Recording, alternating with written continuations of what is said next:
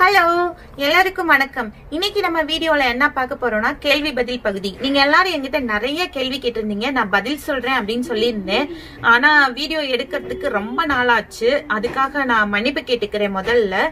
இன்னைக்கு நம்ம கார்டன்ல இருந்து தான் இந்த கேள்வி பதில் வீடியோ எடுக்கிறோம். பொதுவா நம்ம வெளியில போறப்ப வருண பகவான் தான் நம்ம கூட எப்பயுமே வருவாரு. இன்னைக்கு அதிசயமா சூரிய பகவான் இருக்கிறாரு. இந்த மாதிரி வெதர் இந்த நாட்டில் கிடைக்கிறது ரொம்ப ரொம்ப அரிதுனே சொல்லலாம். அதனால சூரிய பகவான் இருக்கிறப்பவே இதெல்லாத்தையும் நம்ம அனுபவிச்சுக்கணும். அதனால தோட்டத்தில் இந்த வீடியோ எடுக்கிறோம். தோட்டத்தில் தான் இப்போல்லாம் நிறையா நேரம் நாங்கள் செலவழிக்கிறோம். இது ரொம்ப நல்லா இருக்குது இந்த வீடியோக்குள்ளே போகிறதுக்கு முன்னாடி உங்கள் எல்லாருக்கும் நான் நன்றி சொல்லிக்கிறேன். எனக்கு நிறையா பேர் சப்ஸ்கிரைப் பண்ணியிருக்கிறீங்க. நிறையா பேர் அக்கா அக்கான்னு கூப்பிடுறீங்க. நிறைய பேர் சகோதரின்னு கூப்பிடுறீங்க. இதில் நிறையா பெரியவங்கள்லாம் இருக்கிறாங்க. அவங்கெல்லாம் அவங்களோட பிளெஸ்ஸிங்ஸ் எனக்கு அனுப்புகிறாங்க கொஞ்சம் பேர் எனக்காக எங்கள் ஃபேமிலிக்காக ப்ரேயர் பண்ணிக்கிறோம் அப்படின்லாம் சொல்கிறாங்க இதெல்லாம் கேட்குறதுக்கு எனக்கு ரொம்ப சந்தோஷமாக இருக்குது இதெல்லாம் நான் அனுபவிச்சதே இல்லை. இதெல்லாம் எனக்கு ரொம்ப ரொம்ப புதுசு. இதுக்கு எல்லாத்துக்கும் எனக்கு நன்றியை தவிர வேற வார்த்தையே இல்லை. எல்லாருக்கும் ரொம்ப ரொம்ப நன்றி. யூடியூபை வந்து நான் கொரோனாலேருந்து தப்பிக்கிறதுக்கு ஒரு ஆயுதமாக ஒரு கேடயமாக தான் பயன்படுத்தினேன். ஆனால் யூடியூபுக்குள்ளே வந்ததுக்கு அப்புறம் எனக்கு நிறைய உறவுகள் கிடச்சிருக்கீங்க.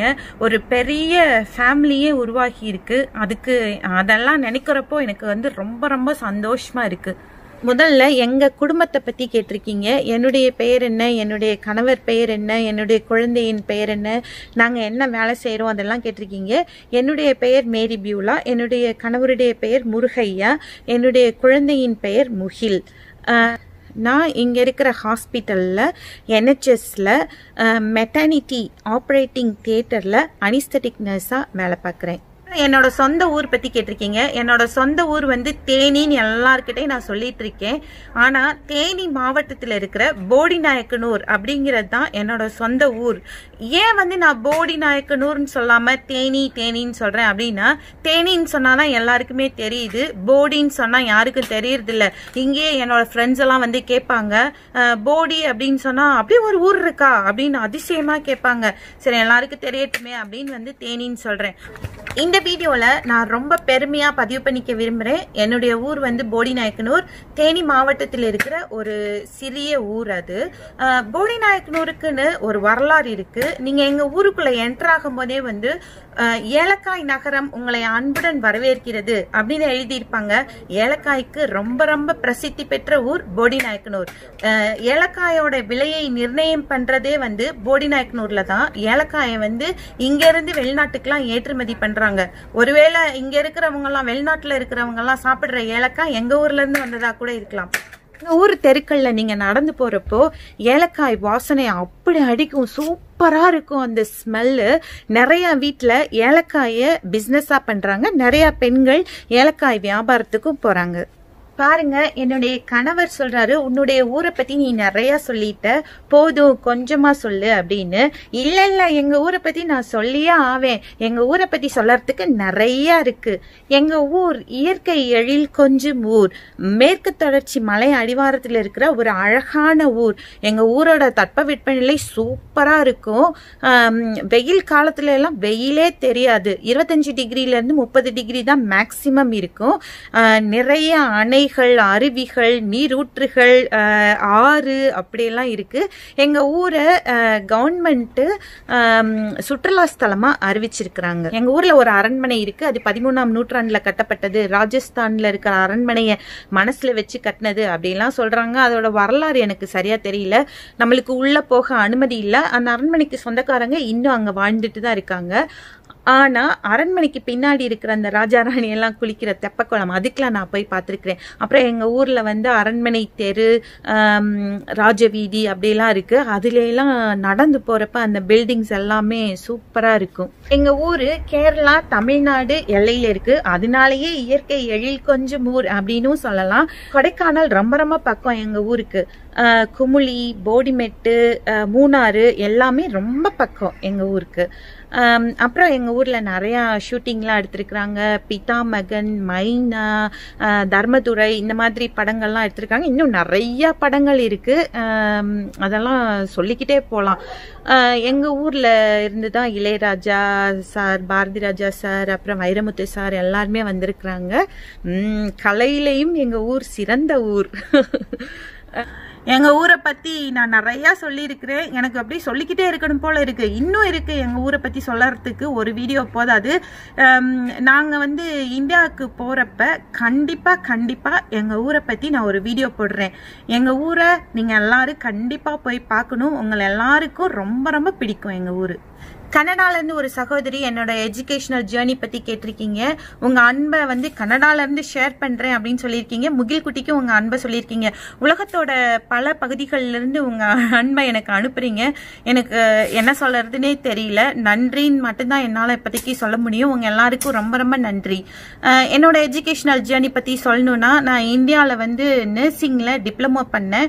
அப்புறம் யூகே வந்துட்டதுக்கு அப்புறம் இங்கே இருக்கிற புரூக்ஸ் யூனிவர்சிட்டியில் வந்து நான் பிஎஸ்சி ஆனர்ஸ் பண்ணேன் கிரிட்டிக்கல் கேர் ஆஃப் நர்சிங்கில் அதுக்கப்புறம் நான் மாஸ்டர் டிகிரி பண்ணேன். ஆனால் மாஸ்டர் டிகிரி முடிக்கல. ஹையர் ப்ரொஃபஷனல் எஜுகேஷனில் வந்து நான் மாஸ்டர் டிகிரி பண்ணேன். என்னோட எய்ம் என்னவா இருந்ததுன்னா இங்கே இருக்கிற யூனிவர்சிட்டியில் வந்து நான் லெக்சரராக ஒர்க் பண்ணணும் அப்படின்னு இருந்தது. ஆனால் நாலு மாடியூல் தான் நான் முடித்தேன் இன்னும் வந்து எனக்கு ரெண்டு மாடியூல் இருக்கு. ஒரு ஒரு மாடியூல் முடித்தா எனக்கு போஸ்ட் கிராஜுவேட் டிப்ளமோ கிடைக்கும். இன்னொரு மாடியூல் முடித்தா நான் வந்து மாஸ்டர் டிகிரி வாங்கிடுவேன். ஆனா, நான் தான் வந்து காசு பே பண்ணி படிக்க வேண்டியதாக இருந்தது. எனக்கு ஸ்பான்சர்ஷிப் கிடைக்கல. கிட்டத்தட்ட பத்து லட்சம் ஆச்சு நான் படிச்சுட்டு இருந்தப்ப. என்னால் வந்து அஃபோர்ட் பண்ண முடியல. அதனால நான் டிஸ்கன்டினியூ பண்ணிட்டேன். இப்போ நான் கண்டினியூ பண்ணுன்னா பண்ணலாம். அதை பற்றி நான் இன்னும் யோசிக்கல. அப்புறம் நான் பேசுற தமிழ் வந்து ரொம்ப அழகா இருக்கு அப்படின்னு நிறைய பேர் சொல்லியிருக்கீங்க. அதுக்கு எல்லாத்துக்கும் ரொம்ப ரொம்ப நன்றி. நான் வந்து என்னோட மூணாம் கிளாஸ் டீச்சரை வந்து இப்ப நன்றியோட நினைச்சுக்கிறேன். அவங்க பேர் வந்து பேபி. ராலாம் எப்படி சொல்லணும் அப்படின்னு வந்து அப்படியே கிள்ளி கிள்ளி சொல்லி கொடுப்பாங்க. நாக்க மடக்கு நாக்க மடக்கு அப்படின்னு சொல்லி கொடுப்பாங்க. இந்த வீடியோவை டீச்சர் பார்ப்பாங்களா என்னன்னு தெரியல. டீச்சர் உங்களுக்கு வந்து ரொம்ப ரொம்ப நன்றி. அதுக்கப்புறம் நான் நிறைய வந்து சரித்திர நாவல்கள் படிப்பேன். சாண்டிலியன் ஐயாவோடது. அதுல எல்லாம் வந்து தமிழ் ரொம்ப நல்லா இருக்கும். அப்படிதான் என்னோட தமிழ் நல்லா இருக்கு அப்படின்னு நினைக்கிறேன். இதை வந்து நான் பெருமையா சொல்லாம என்னன்னு தெரியல. ஆனா நான் இந்தியால இருக்கும் போதே நிறைய பேர் சொல்லியிருக்கிறாங்க என்னோட தமிழ் வந்து நல்லா இருக்குன்னு. கேக்குறப்ப எனக்கு வந்து ரொம்ப சந்தோஷமா இருக்கு. நம்மளோட சேனல்ல வந்து தமிழ் ஆசிரியர் இருக்கிறாங்க. அப்புறம் நிறைய சகோதரிகள் வந்து சூப்பர் தமிழ்ல வந்து எழுதுறாங்க. அவங்கெல்லாம் என்ன நினைப்பாங்களோ தெரியல. இருந்தாலும் நீங்க என்னை பாராட்டியிருக்கீங்க. அதை நான் அக்செப்ட் பண்ணிக்கிறேன். அதுக்கு நன்றி தெரிவிச்சுக்கிறேன். அப்புறம் கொஞ்சம் பேர் கேட்டிருக்கீங்க. நீங்க ஸ்ரீலங்கனா ஸ்ரீலங்கன் தமிழ் மாதிரி இருக்கு. நீங்க பேசுறது அப்படின்னு. ஐயோ ஸ்ரீலங்காவோட ஸ்லாங் எனக்கு ரொம்ப பிடிக்குங்க. நீங்க அழகா தமிழ் பேசுவீங்க. ஸ்ரீலங்கன்ஸ் கேட்டாங்கன்னா கோச்சுக்க போறாங்க. உங்களோட தமிழ் வந்து அவ்வளவு அழகா இருக்கும். அந்த அளவுக்குலாம் நான் பேசலன்னு நினைக்கிறேன். எனிவே இப்படி சொன்னதுக்கு வந்து ரொம்ப ரொம்ப நன்றி. எனக்கு வந்து அது பெருமையா இருக்கு. ஸ்ரீலங்கன் தமிழ் மாதிரி நான் பேசுறேன் அப்படிங்கிற கேட்கறதுக்கு ரொம்ப சந்தோஷமாவும் இருக்கு. யூகேல நான் எந்த இடத்துல இருக்கேன் அப்படின்னு கேட்டிருக்கீங்க? நான் வந்து ஆக்ஸ்போர்ட் அப்படிங்கிற இடத்துல வந்து இருக்கிறேன். நான் லண்டன்ல இல்லை. அதுக்கப்புறம் யூகே பத்தி நிறைய பேர் கேட்டிருக்கீங்க. யூகேனா லண்டன் தானே அப்படின்னு கேட்டிருக்கீங்க. இல்ல யூகேனா இங்கிலாந்து வேல்ஸ் ஸ்காட்லாந்து அப்புறம் Ireland northern part of Ireland. இது எல்லாம் சேர்ந்தது தான் யூகே இதுக்கு ஒரு தனி வீடியோவே போடலாங்க. இதை பத்தி நான் இன்னொரு தடவை விரிவா பேசுறேன். அப்புறம் நான் யூகே வந்துட்டு எவ்வளவு நாள் ஆகுதுன்னு கேட்டிருக்கீங்க. பத்து வருஷத்துக்கு மேலாச்சு. அப்புறம் எங்க கல்யாணத்தை பத்தி கேட்டிருக்கீங்க. எங்க கல்யாணம் வந்து அப்படி ஒன்றும் பெரிய வரலாற்று சிறப்பு மிக்க கல்யாணம் அப்படியெல்லாம் கிடையாதுங்க. நம்ம நம்ம ஊர்ல அரேஞ்ச் மேரேஜ் பண்ணுவாங்கல்ல அந்த மாதிரி கல்யாணம் தான் இது. அதுக்கப்புறம் முகில் குட்டி பத்தி கேட்டிருக்கீங்க. இதுக்குமே வந்து ஒரு வீடியோவே போடலாம் அப்படின்னு நினைக்கிறேன். நான் வந்து பிரெக்னண்டா இருந்தப்போ வேலையில இருந்தேன். நான் ஏற்கனவே சொன்ன மாதிரி நான் வந்து மெட்டர்னிட்டியில ஆப்ரேட்டிங் தியேட்டர்ல அனிஸ்தட்டிக் நர்ஸா வேலை பார்க்குறேன். அப்ப நான் வந்து ஒரு சிசேரியன் செக்ஷன் நடந்துட்டு இருந்தது தியேட்டர்ல அப்ப ஒரு பேஷண்ட் கூட தான் நான் இருந்தேன். திடீர்னு வந்து எனக்கு ரொம்ப வலி வந்துச்சு. நான் வந்து மெட்டர்னிட்டிலேயே வேலை பார்த்ததுனால எனக்கு ரொம்ப ஈஸியா இருந்தது. என்னைய வந்து உடனே எமர்ஜென்சி சிசேரியன் செக்ஷனுக்காக போக சொன்னாங்க. அப்ப நான் அங்கேயே அப்பயே எனக்கு வந்து எமர்ஜென்சி சிசேரியன் செக்ஷன் பண்ணிட்டாங்க. என்னுடைய கணவர் கணவருக்கு இது வந்து மிகப்பெரிய ஷாக்கா இருந்தது. ஏன்னா நான் நைட் டியூட்டி பார்த்துட்டு இருந்தேன். அவர் வீட்டில் வந்து தூங்கிட்டு இருந்தாரு. திடீர்னு ஃபோன் பண்ணி உங்க ஒய்ஃபுக்கு வந்து செக்ஷன் பண்ண போறோம் அப்படின்னு சொன்ன அவர் ரொம்ப ஷாக் ஆயிட்டாரு. யூஸ்வலி எமர்ஜென்சி மெடிசின்ஸ் எல்லாம் தேட்டர்ல நாங்க ப்ரிப்பேர் பண்ணுவோம் இல்லையா? என்னோட மெடிசின்ஸ் எல்லாம் நானே ப்ரிப்பேர் பண்ணிக்கிட்டேன். அதெல்லாம் ஒரு வந்து த்ரில்லான அனுபவம். இதுதான் முகில்குட்டி பிறந்த கதை. அப்புறம் முகில் குட்டி வந்து இப்ப நர்சரி போறாரு. இப்பதான் நர்சரி ஸ்டார்ட் பண்ணி இருக்கிறாரு ஒரு சகோதரர் யூகேல எஜுகேஷனல் சிஸ்டம் பத்தி கேட்டிருந்தாரு. எனக்கு யூகே ஸ்கூலிங் பத்தி எனக்கு தெரியவே தெரியாது. ஐ எம் ரியலி சாரி நான் வந்து யூனிவர்சிட்டியில படிச்சதுனால எனக்கு யூனிவர்சிட்டி எப்படி இருக்குன்னு தெரியும். அப்புறம் இப்ப முகில்குட்டி வந்து நர்சரி போறதுனால நர்சரி பத்தி தெரியும். இங்க குழந்தைங்க நர்சரிக்கு போறதுக்கு முன்னாடி ரெண்டு டீச்சர்ஸ் வந்து வீட்டுக்கு வருவாங்க. வந்து நம்மளை அறிமுகப்படுத்திப்பாங்க குழந்தையையும் பழக்கப்படுத்திப்பாங்க. எதுக்கு அப்படி பண்றாங்க அப்படின்னா அப்பதான் குழந்தைங்க நினைக்கும். அடுத்து நர்சரி போறப்போ ஓ இந்த டீச்சர்ஸ் நம்ம வீட்டுக்கு ஏற்கனவே வந்திருக்கிறாங்க. நம்ம அம்மா அப்பாவுக்குலாம் தெரிஞ்சவங்க. அப்ப நம்ம பயப்படாம நர்சரிக்கு போலாம். அப்படின்னு நினைச்சு போவாங்க. அப்படிங்கிறதுக்கு தான் இந்த சிஸ்டம் வந்து ஃபாலோ பண்றாங்க. இது வந்து எனக்கு ரொம்ப ரொம்ப பிடிச்சிருந்தது. குழந்தைங்க ஃபர்ஸ்ட் டே நர்சரி ஆரம்பிக்கிறப்போ ரொம்ப அழுவாங்க. அதனால பெற்றோர்களை வந்து உள்ள விடுவாங்க. நம்ம கொஞ்சம் டைம் ஸ்பெண்ட் பண்ணலாம் அவங்களோட. அப்பதான் குழந்தைங்களுக்கும் சந்தோஷமா இருக்கும். அம்மா அப்பாலாம் உள்ள இருக்கிறாங்க. இது நம்மளுக்கு பாதுகாப்பான இடம் அப்படின்னு குழந்தைங்களுக்கு தோணும். செகண்ட் டே தேர்ட் டே எல்லாம் குழந்தைங்க அழதான் செய்வாங்க. அதனால ஸ்லோவா டைமை வந்து இன்க்ரீஸ் பண்ணுவாங்க. ஃபர்ஸ்ட் டே அரை மணி நேரம் அதுக்கப்புறம் ஒரு மணி நேரம் அதுக்கப்புறம் ரெண்டு மணி நேரம். அந்த மாதிரி டைமை கூட்டிக்கிட்டே போவாங்க. அப்ப குழந்தைங்களுக்கும் ரொம்ப நேரம் நம்ம நர்சரியில இருக்கோம். அந்த மாதிரி தோணாது. அப்புறம் நம்ம அம்மா வந்து நம்மள கண்டிப்பா கூட்டிட்டு போயிடுவாங்க. அப்படிங்கிற ஒரு திங்கிங்க குழந்தைங்களுக்கு கொடுப்பாங்க. குழந்தைங்க விளையாடுறப்ப போட்டோ எல்லாம் எடுத்து நம்ம கிட்ட காமிப்பாங்க. அப்பதான் நம்ம மைண்டும் கொஞ்சம் ரிலாக்ஸ்டா இருக்கும். சரி குழந்தை அழல நல்லா விளையாடுறான் அப்படின்னு நம்மளுக்கு வந்து சைக்கலாஜிக்கலா ஒரு சப்போர்ட் இருக்கும். நர்சரி பத்தி இன்னும் நிறைய சொல்லிக்கிட்டே போலாம். ஆனா இப்பதைக்கு இது போதும்னு நினைக்கிறேன். அடுத்த கேள்விக்கு போவோம். ஒரு சகோதரி யூகே சிட்டிசன்ஷிப் பத்தி கேட்டிருக்கீங்க. நாங்க வந்த டைம்ல நாங்க ஒர்க் பர்மிட் விசால வந்தோம். அஞ்சு வருஷத்துக்கு அப்புறம் பிஆர் வாங்கிக்கலாம். ஆறாவது வருஷத்துல வந்து குடியுரிமை வாங்கலாம். அந்த மாதிரி இருந்தது. ஆனா இப்ப ரூல்ஸ் எல்லாம் மாறிடுச்சு. டியர் சிஸ்டம் அந்த மாதிரி எல்லாம் சொல்றாங்க. எனக்கு உண்மையிலே அதை பத்தி ஒன்னும் தெரியலங்க. இதை பத்தி வீடியோ போடுறதா இருந்தா நான் இன்ஃபர்மேஷன் கலெக்ட் பண்ணிட்டு அதுக்கப்புறமா நான் வீடியோ போடுறேன். அப்புறம் நிறைய பேர் எங்க கார்டன் பத்தி சொல்லியிருந்தீங்க. எங்க கார்டன் ரொம்ப ரொம்ப நல்லா இருக்கு. கிரேப்ஸ் எல்லாம் நல்லா இருக்கு அப்படின்னு சொல்லியிருந்தீங்க. இந்த கிரெடிட்டை நான் எடுத்துக்கவே முடியாது. இந்த கார்டன்ல நாங்க ஒண்ணுமே பண்ணறதே இல்ல. சும்மா புல் வெட்டுறோம். அப்புறம் செடியெல்லாம் வந்து அப்பப்ப ட்ரிம் பண்றோம். இங்க இந்த வீட்டை நாங்க வாங்கறதுக்கு முன்னாடி இருந்த ப்ரீவியஸ் ஓனர் அவரு தான் இந்த கார்டனை ஃபுல்லா மெயின்டைன் பண்ணினாரு. நாங்க வாங்குறப்பெல்லாம் இந்த கார்டனை செம்மையா மெயின்டைன் பண்ணியிருந்தாங்க. இந்த கார்டனை பார்த்து மயங்கி தான் இந்த வீட்டவே நாங்க வாங்கினோம். கிரேப்ஸ் வளர்க்கறது எப்படின்னு கேட்டிருந்தீங்க? ஐ எம் ரியலி சாரி எனக்கு அதை பத்தி ஒண்ணுமே தெரியாது. நாங்க பக்கத்து வீட்டில் தான் அப்பப்போ ஹெல்ப் கேட்டுப்போம். நாங்கள் இந்த வீட்டை வாங்குறதுக்கு முன்னாடியே இந்த செடி எல்லாமே இருந்தது. அவங்க ரொம்ப அழகாக மெயின்டைன் பண்ணியிருந்தாங்க. நாங்கள் வந்து ஃபர்ஸ்ட் இயர்ல எல்லாம் நிறைய கிரேப்ஸ் இருந்தது. இப்போ நாங்கள் சரியாக மெயின்டைன் பண்ணல. அதனால கொஞ்சமாக தான் இந்த தடவை கிரேப்ஸ் எடுத்தோம். எனக்கு கிரேப்ஸ் வளர்க்குறத பற்றி சுத்தமாக ஒன்றுமே தெரியாது. அதுக்கு மன்னிச்சுக்கோங்க. அப்புறம் காஸ்ட் ஆஃப் லிவிங் பத்தி கேட்டிருக்கீங்க. லண்டனுக்கு அடுத்தபடியா ரொம்ப ரொம்ப ரொம்ப எக்ஸ்பென்சிவான இடம் அப்படின்னா அது ஆக்ஸ்போர்டு தான். ஊர்ல இருந்து வர்றவங்க ஆக்ஸ்போர்ட் வர்றதுன்னா கொஞ்சம் யோசிச்சுட்டு வாங்க. இங்க சீப்பான இடம்லாம் இருக்கு. அங்க போனா நீங்க நிறைய காசு சேவ் பண்ணலாம். எனக்கு வேலை ஆக்ஸ்போர்ட்ல ஸ்ட்ரைட்டா கிடைச்சிருச்சு. அதனால நாங்க இங்க வந்துட்டோம். ஆனா இங்க சீப்பான ஏரியாஸும் இருக்கு. உதாரணத்துக்கு சொல்லணும்னா மேன்செஸ்டர் லிவர்பூல் பர்மிங்ஹாம் இங்க எல்லாம் ரொம்ப ரொம்ப காஸ்ட் ஆஃப் லிவிங் சீப்பா இருக்கும். அடுத்த கேள்விக்கு போகலாம் அப்புறம் யூகே பத்தி பிளஸ் அண்ட் மைனஸ் கேட்டிருக்கீங்க. இதை ஒரு லைன்ல நம்ம கண்டிப்பா சொல்ல முடியாது. இதை பத்தி ஒரு வீடியோ தான் போடணும். சீக்கிரமா ஒரு வீடியோ போடுறோம். இதோட பிளஸ் அண்ட் மைனஸ் பத்தி. நான் எப்படி யூகே வந்தேன் அப்படின்னு நிறைய பேர் கேட்டிருக்கீங்க. யூகே வர்றதுக்கு முன்னாடி நான் சிங்கப்பூர்ல ஒரு வருஷம் வேலை பார்த்தேன். அங்க இருந்து தான் இங்க வேலை கிடைச்சு நான் வந்தேன். அடுத்த கேள்வி முகில் குட்டி எப்படி இவ்வளவு அழகா தமிழ் பேசுறாரு அப்படிங்கறத பத்தி தான் நாங்கள் குழந்தைக்கு தமிழ் பேர் வைக்கணும் அப்படிங்கறதுல ரொம்ப தெளிவாக இருந்தோம். நம்ம பேரை பார்த்தே நம்ம எந்த ஊர்லேருந்து வந்திருக்கிறோம் அப்படின்னு இங்கே இருக்கிறவங்க தெரிஞ்சுக்கணும் மற்றவங்களும் தெரிஞ்சுக்கணும் அப்படின்னு நினச்சோம். அப்புறம் கண்டிப்பாக கண்டிப்பாக தமிழில் பேசணும் வீட்டில் குழந்த குழந்தை தமிழ் நல்லா கற்றுக்கணும் அப்படின்னு நினச்சோம். அது இதுவரைக்கும் நல்லா நடந்திருக்கு.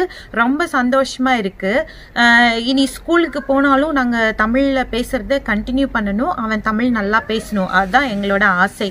நான் இந்த ஊருக்கு வந்தப்போ என்னோட பேரு மேரி அப்படின்னு இருக்கிறதுனால இங்க இருக்கிற எல்லாருமே கேட்பாங்க நீ இந்தியால இருந்து தானே வந்திருக்கிற? ஏன் உனக்கு இந்திய பேர் இல்ல? ஏன் நீ மேரின்னு பேர் வச்சிருக்கிற? அப்படிம்பாங்க. அப்ப எனக்கு ஒரு மாதிரியா இருக்கும். ஆமால எனக்கு ஏன் இந்திய பேர் இல்ல? என்னோட பேரை பாக்குறப்பவே நான் தமிழ்நாட்டுல இருந்து வந்திருக்கிறேன் இந்திய நாட்டுல இருந்து வந்திருக்கிறேன் எல்லாருக்கும் தெரியணுமே அப்படின்னு நினைப்பேன் நான். அ- அதனாலதான் எங்க குழந்தைக்கு தமிழ் பெயர் இருக்கணும் அப்படின்னு நினைச்சு முகில் அப்படிங்கிற பேரை நாங்கள் சூஸ் பண்ணினோம்.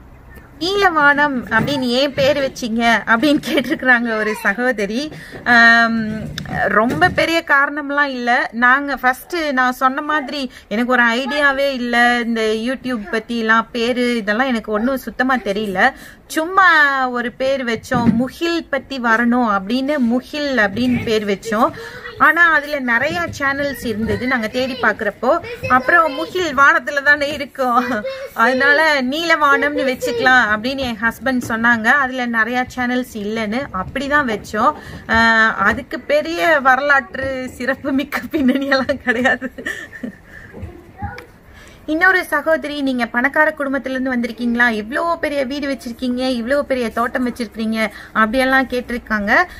கண்டிப்பா கண்டிப்பா நான் பணக்கார குடும்பத்துல இருந்து வரல. பணக்கார குடும்பத்துல பிறந்திருந்தேன் அப்படின்னா கண்டிப்பா இந்த ஊருக்கு நான் வந்திருக்க மாட்டேன். இந்தியாலே இருந்திருப்பேன்.